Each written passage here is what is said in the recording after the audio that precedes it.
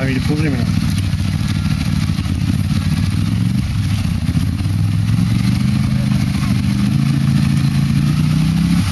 Stop C'est pas la peine